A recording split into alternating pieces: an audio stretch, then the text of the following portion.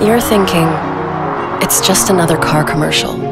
But today, let's take a step back and focus on the ocean. The time is now to create a better future together. So action goes beyond words. Kia, movement that inspires.